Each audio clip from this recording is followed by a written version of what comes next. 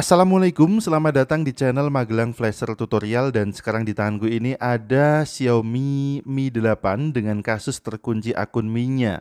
Kita akan coba untuk unlock akun Mi pada Xiaomi Mi 8 ini dengan metode IDL mode dan juga tanpa out. Untuk toolnya kita gunakan MRTK dongle, nanti kita akan jalankan yang versi 5. Langsung aja MRT-nya kita colokkan ke PC kita. Dan selanjutnya kita akan coba untuk mengakses IDL mode dulu pada handphone ini. Kebetulan handphone ini sudah terunlock bootloadernya, jadi cukup mudah untuk masuk ke IDL mode.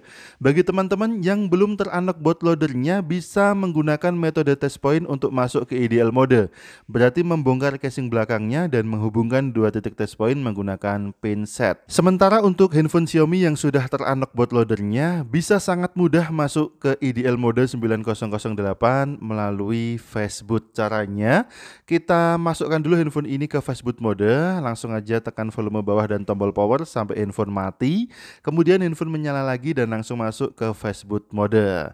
Nanti kita akan menghubungkan handphone ini ke komputer menggunakan kabel data yang bagus dan sekarang kita bisa bergabung dulu dengan tampil tampilan Windows kita. Sebelum kita masuk ke ideal mode, kita bisa jalankan dulu device manager pada Windows yang kita gunakan. Kebetulan di sini aku menggunakan Windows 10, jadi langsung bisa kita cari device manager dan kita jalankan aja. Ini dia untuk device manajernya.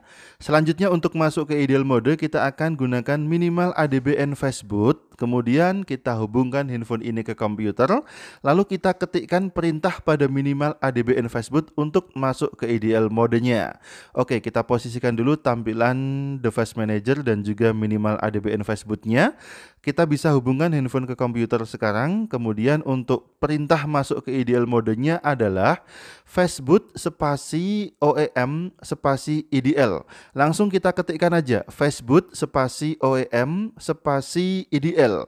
Kemudian kita tekan enter dan kita tunggu sampai ada keterangan finish yang muncul.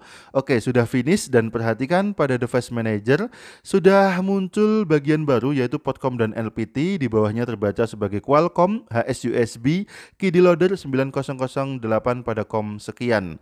Untuk angka yang muncul di belakang COM ini bisa angka berapapun. Kebetulan di sini muncul COM 41. Oke, kita lanjut untuk menjalankan MRT versi 5 dengan server admin Indonesia yaitu ADR Jawir ya atau Adrianto Prianggodo. Kita lanjutkan untuk masuk ke menu Xiaomi pada MRT-nya, kemudian di bagian model kita cari Xiaomi 8. Untuk potnya kita pilih sesuai dengan yang muncul pada device manager. Kebetulan terbaca sebagai COM41, tinggal kita sesuaikan saja. Kita pilih COM41, lalu di operation optionnya kita pilih remove akun. Kita klik aja di sini, kita berikan centang, kemudian klik menu startnya, dan kita tunggu sampai proses mengunlock akun Mi pada Xiaomi Mi 8 ini selesai. Jadi proses unlock akun Mi pada Mi 8 ini tanpa menggunakan out ID sama sekali.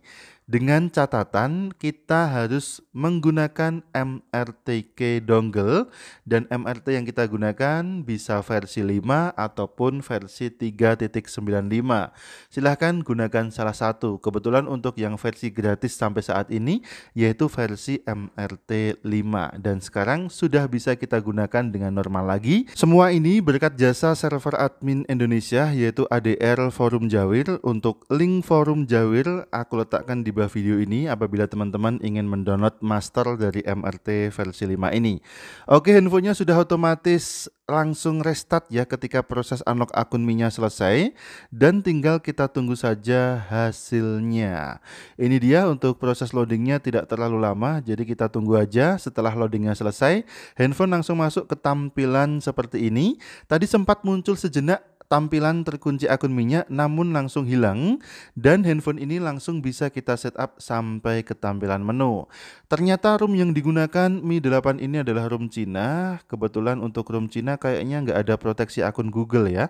Jadi bisa kita setup sampai ke tampilan menu. Untuk akun Mi-nya sudah betul-betul clean dan bisa kita lewati. Jadi tinggal kita pilih menu lewati atau skip saja Dan ternyata untuk akun Mi ini tidak bisa kita gunakan lagi. Metode unlocknya adalah bypass disable find my device. Jadi akun Mi memang kosong, sudah clean, namun tidak bisa kita gunakan lagi.